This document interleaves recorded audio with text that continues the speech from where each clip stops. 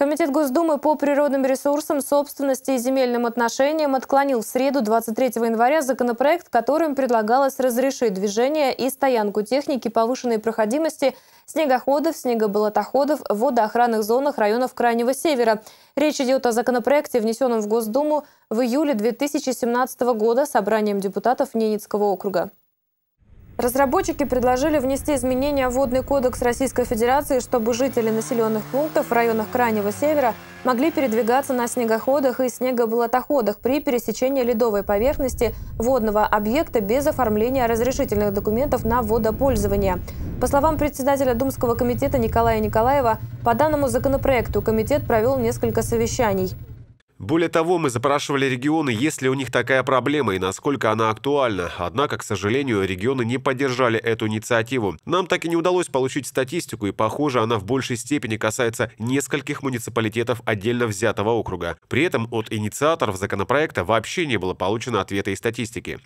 Отрицательное заключение на законопроект поступило из правительства, Минприроды и Государственно-правового управления президента.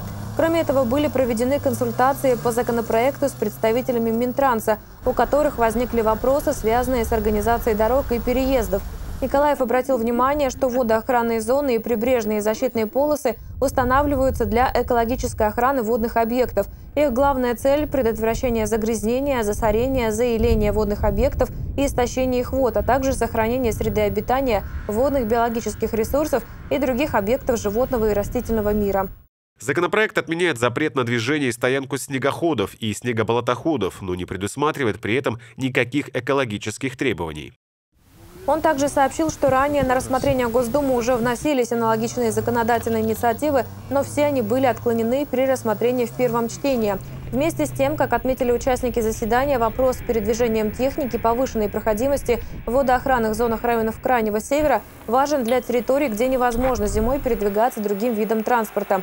Учитывая необходимость решения вопроса с передвижением на таких территориях, отправим письма вице-премьерам правительства Алексею Гордееву и Юрию Трутневу с просьбой высказать свою позицию, предложил Николаев. Члены комитета поддержали данное предложение.